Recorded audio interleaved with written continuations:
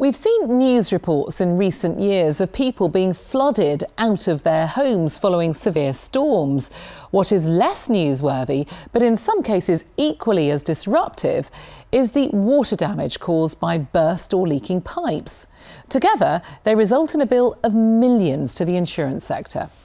Loss adjusters Sedgwick is putting measures in place to reduce the impact of these leaks and to make our homes more resilient. Sharon Thomas dons her wellies to find out more.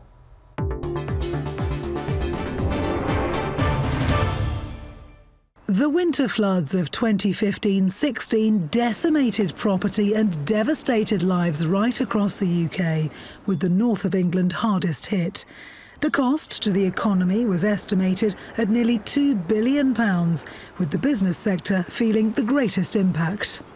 More than 5 million homes in the UK are at risk of flooding. That's 20% of all residential properties. The pressure to build new houses is greater than ever, so much so it's estimated that 10,000 new homes are now being built on floodplains every year. The net result is a huge surge in claims for water damage. Insurance companies are now having to re-evaluate how they operate, ensuring that anything that is recoverable isn't removed, saving time, materials and money, and therefore greatly reducing the impact of a flood. The cost effectiveness of a resilient repair is key. It's really important as loss adjusters and surveyors that we understand what is damaged in a building in a flood. Now the materials can be really badly affected by moisture or not affected at all. So our role is understanding a building, understanding the impact on the customer and trying to reduce the amount of material that we remove from the building in a flood. I'm going to simulate the flood now by introducing 1,000 litres of water into the unit through this pipe here. Testing typical household materials for their resilience is now more crucial than ever. What we've also got is a flood resistant kitchen with flood resistant carcasses and doors and all the appliances are set up high so that they won't be damaged in the event of a flood.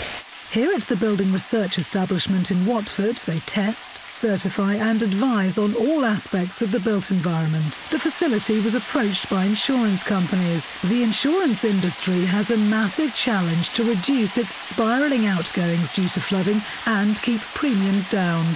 They're trying to address this by testing all aspects of how a building reacts to flooding in a controlled environment. It's really important to have an independent testing environment like this so that we can uh, try out different products, materials, develop standards so that we can notify the architects, the insurers, the building surveyors, the manufacturers and suppliers on how to come up with the right solutions for these homes so that we can then get people back into their homes quicker after a flood event. So instead of months and years, it's potentially days or weeks. Elsewhere on the site, this test tank generates waves to simulate what happens in a real-life flooding situation, testing the resilience of doors for keeping the water out.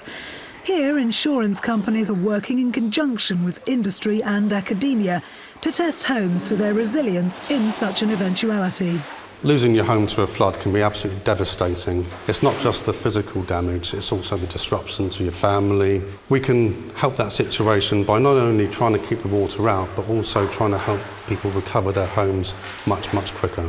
That can only happen if we understand how their homes perform, and particularly the materials that their, their homes are made of. The cost of adverse weather for businesses is estimated to be £7,000 per business in the three years to January 2015.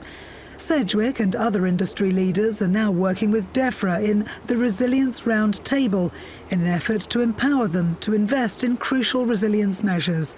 Some don't have, or indeed can't get, affordable insurance. Flood risk is an increasing issue for small businesses, whether it's the direct impact of floodwater entering their premises or the indirect consequences on their staff, their customers and their activities. For those that are at high risk, uh, there's a number of things that they need to be empowered to do, including property level resilience, like flood barriers. Sedgwick, future-proofing homes and businesses from flooding by building resilience and enabling those affected to recover as quickly as possible.